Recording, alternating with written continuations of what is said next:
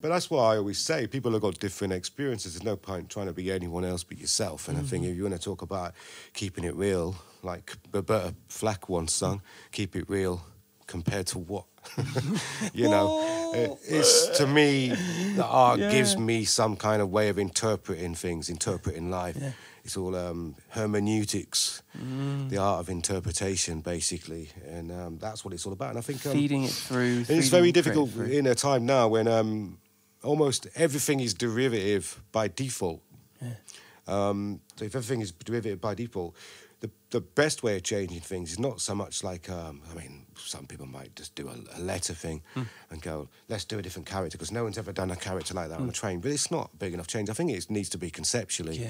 And if I was coming at it now from a younger point of view, I'd probably, just off the top of my head, Yeah, yeah, yeah. these aren't definite ideas that I would totally do, Hmm. but I'd think, okay, what can I do to a train?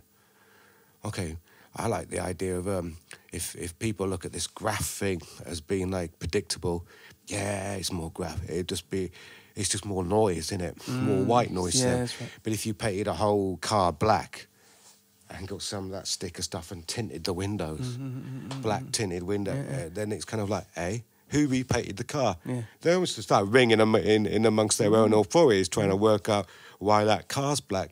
Well, it can't be a vandal. Who the hell would want to do that? Yeah, yeah. So it, wow. it's the head scratch of it yeah. But from a conceptual point of view.